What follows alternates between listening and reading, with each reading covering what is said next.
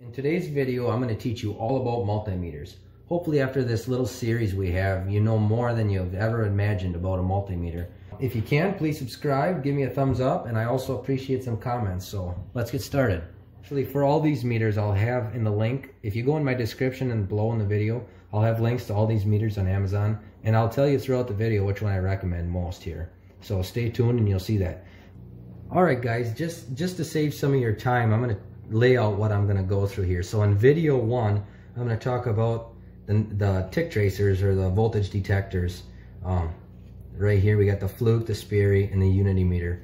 Um, in video two, I'm going to talk about this T5600. It's a really nice uh, ampacity meter. It's kind of like an amp clamp. That's what we call them, amp clamps. These two. These meters also have voltage functions on them. Um, but in video three, I'm going to talk about the handheld Fluke right here. I got a Fluke 87V meter It has a bunch of options from voltage to millivolts to capacitance, continuity, diode checks, amperage, temperature. Um, there's a whole nine yards. The only thing this really doesn't have is it doesn't have the options of reading the amp clamp like these amp clamps do. So just jump to them videos if you're more interested in that. But in this first video, I'm going to talk about these tic tracers. So here we go. So getting started on the non-contact voltage sensors or detectors. They're also called tic tracers if you're in the industry. I'm going to start out with the Fluke here because it's the most simple. You can see here on this Fluke that it says a sensitivity range, if you look real close, from 90 to 1000 volts AC. That's a good sensitivity range. Um, the only thing I'm, I'm going to say about the 90 volts AC is you got to get, if you're looking at 120 volt circuits inside your house, you got to get quite close to the receptacle, and I'll show you that in a minute for this thing to start beeping. Um, but to turn this thing on, you just hold the button and let go and it starts beeping and two flashes means it's going. And when you see it continue to do two flashes like that, that means it's, uh, it's trying to detect voltage. So when we get to uh, voltage in my demonstration, I'm going to show you that this thing will beep. Um, but another thing to shut it off, you do the same thing, just hold the button until it beeps and you'll see it stop blinking there. Um, one other feature about this, this is the Fluke 1AC Volt Alert.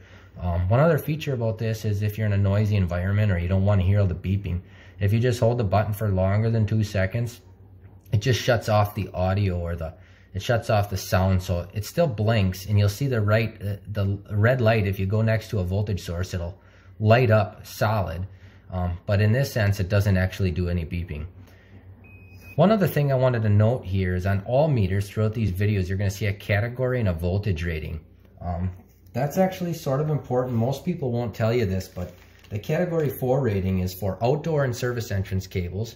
Category 3 is for distribution equipment, so like down in your main panel board down. So you want to make sure that the higher the category is, is the more dangerous areas these meters are rated for. I shouldn't say maybe dangerous, but it, it, means that's the location that they're suitable to be used in. And this is good for all it says up to 1,000 volts AC. If, you're in most residential houses in the United States, you, you have 240 volts AC maximum. So this is good for that. And category 4 means it, it's good for outdoor or service entrance or all of the below. So Cat 4 means Cat 4, Cat 3, Cat 2, Cat 1, etc. Cat 2, um, to continue with that, is just indoor receptacles and switches. Cat 1 is just small circuit electronics that are protected upstream. So that's the Fluke now I'm going to go to one of my favorite ones, this Sperry. Sperry sells, I'll put this on my Amazon description below also. It's a reasonable um, tic tracer. It's a volt sensor, but the cool thing about this one is it has a sensitivity adjustment, and I'll demonstrate that in a second here also. The difference about this one is you don't turn it on and off like you do with the Fluke. You have to hold the button down the whole time you're trying to use it. That first initial beep kind of tells you that you got the thing sort of in the on mode. But after that point, um, you once it gets next to electrical, it'll start beeping constantly, ne next to voltage, I should, should say. The nice part about this is because it's adjustable, you can adjust it from 12 volts AC to 1000 volts AC. So this one is more suitable for low voltage AC circuits if you're doing stuff like an outdoor lighting. Um, if you notice here, there's also a cat rating. All these meters are going to have a category rating. This says at category 3, it's good up to 1000 volts. And if you remember, category three is distribution equipment, switches and receptacles, and electronics. Um, category four, it's good up to 600 volts. So if you're doing any outdoor testing, um, this should only be used at 600 volts or less. The last thing I want to, the last non-contact voltage um, detector or meter that I want to show you here is this Uni-T. It's a UT210E. And again, I said I got this one off Amazon also. Um, I'll put the, the link down in the description if you want to check it out on Amazon. Um, it has a sense an option on here for NCV, which is non-contact voltage test. So you slide that to NCV, and when you put this meter next to a live live voltage or live wire, right here in this area, you'll see this thing starts to beep, and it starts to beep faster and faster depending upon the amount of voltage it detects. There's no readout saying how much voltage it's detecting, but it does beep faster when it gets closer to a, a voltage source. So let's go and demonstrate some of these quick. All right, so what we're what we're starting with here is the um, Fluke Volt Alert 1AC. Again, I'm going to show this thing uh, in the description. You'll you can check it out on Amazon. This is a, an extremely good, reliable brand, Fluke. Um, as I demonstrated, I'm going to turn it on here. I always like to have the audio with it because it helps. Um, and you can see if I get this close to re a receptacle, what it's telling me is pretty much if the, the power is on on this receptacle.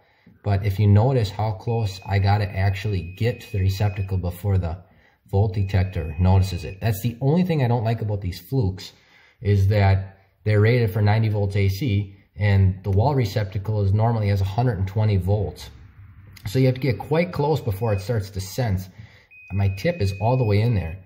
Um, and yeah, th th that's a great reliable meter. I'll almost rely on this more than any other one, but it doesn't have as many features as I'm going to show you next in that Sperry. Um, if I go over to the common side of this receptacle, you can see that that's the common side. Sometimes electricians wire these up backwards, so that's kind of nice to check on a volt detector like this. You can see the left side doesn't have the voltage, but the right side does. All right, let, let's go to the Sperry next. All right, so on the Sperry here, you see here, I got the Sperry volt sensor. Um, it says non-contact voltage tester VD6505. I'll put this also on a link on Amazon in the description below. But if I hold this button and I get closer while holding the button, you'll see that starts to beep. But if you notice, because this has a sensitivity adjustment, I don't have to get quite as close. Another thing, let's say I turn up the sensitivity on this with the sensitivity adjustment. I'm turning it up. If I turn it up, the farther I turn it up is the farther I can stay away from this and still sense voltage. That's sort of nice if you want to sense voltage on the other side of a wall. Right there, you can see on this, this cord that I have plugged in, I can stay a good inch away from this and tell that this cord is plugged in. If I unplug this cord, you can see there's no more voltage on it. If I plug it in, again, so that sensitivity knob is really, really nice. Also, if you have two hot wires right next to one another, or two wires with voltage, you can turn the sensitivity down until you get real close to the wire. And only one wire, if only one wire is powered up, you'll, you'll tell which wire it is if you adjust the sensitivity down. So, in my opinion, this Sperry is the best out of all my non-contact voltage sensors because of the sensitivity adjustment. I had this thing for over five years now and it's still very reliable. So next I'm going to show you um, the last one on my list, the Uni-T meter. On the Uni-T meter, if I turn this dial to non-contact voltage test, if you go right up to that, you can see it beep.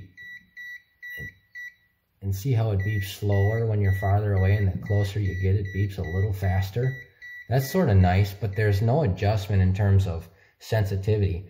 If I wanted to see if this wire, you, you can see this cable here has power on it.